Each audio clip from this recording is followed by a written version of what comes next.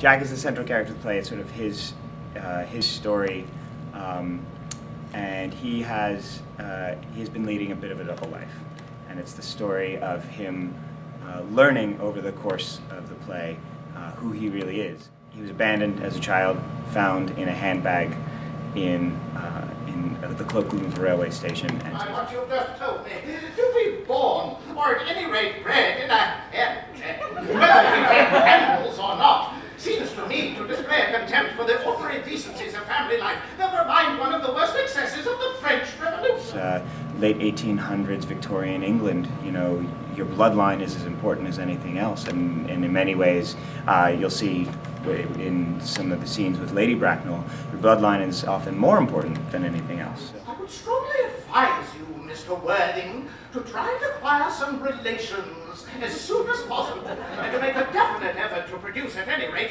one parent of either sex before the season is quite over. This is my second time working with Avery, um, and I, I did Hamlet with him last fall at Arkansas Repertory Theater. Uh, but we had this epic sword fight at the end of the play, so um, so we spent a lot of time in the rehearsal hall together, and it was very intense, grueling work, very physical work, and, and uh, we got to be uh, pretty good friends. And so it's uh, it's night and day uh, between the two of the one being so heavy and so serious and so brutal and life and death stakes, and the other this one being.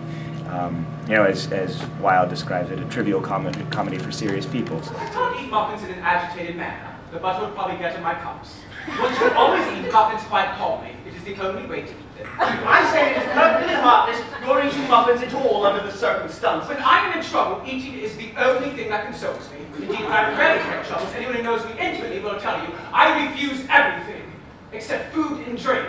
Uh, Philip and I, um, Philip is playing Lady Bracknell, and he and I have uh, a few scenes together. And in the, in the beginning rehearsals, uh, he would I would laugh every other line. I, it was so hard for me to keep it together, and you know, sort of work through that part. So on the day of, you can do it. But man, that guy's funny. And they say comedy is courageous, uh, and I think it really is because part of what you're putting out there is uh, what you find funny. But you know, I you know I think this is funny, and so I'm going to approach the scene this way.